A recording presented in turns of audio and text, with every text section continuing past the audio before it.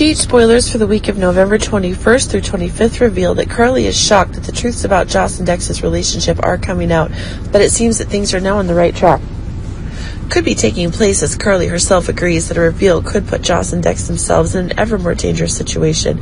But actually having one of the new surprises that Carly herself is having is one of the more precise conditions for Carly herself to get one of the more unexpected conditions if Carly herself is trying to use the conditions.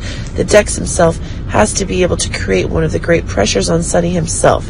But no matter what, new fears are coming to Carly as the dangers that Dex himself can bring to Joss are becoming more and more visible. It is possible that Carly herself is in need of one of the necessary conditions to take down Sonny more quickly, and hence one of the new collaborations that Carly herself is getting when Brick herself is having more and more moves, new help.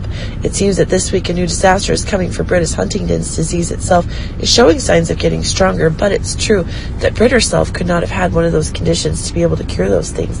This week we're seeing that Liesl herself is putting in new conditions to ensure that Brit's tolerance for pain is kept to a minimum. But it's possible that Brit is no longer able to have the conditions she needs when medical advances are unable to keep up with her changes. Remember that one of the crazy things that Brit is hoping is that there is a cure in Peter's necklace, but it seems that things are going too far and that is not certain.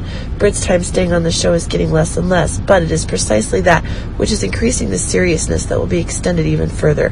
Valentine is telling Martin about his mistakes, but things seem to be more complicated if you look at the tension that Victor is trying trying to create.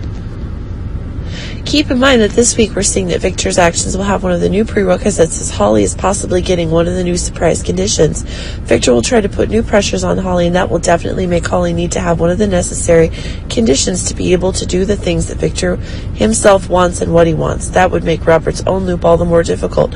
Remember that the one of the new elements is coming and that is expanding even more, but it seems that Robert himself will find the tension and that is expanding further. His new actions to free his wife.